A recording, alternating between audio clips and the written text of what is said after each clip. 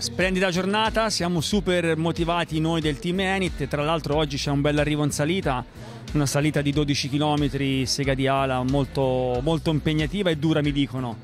Dunque speriamo di poter far bene. Abbiamo una prova speciale la media sarà di 31,4.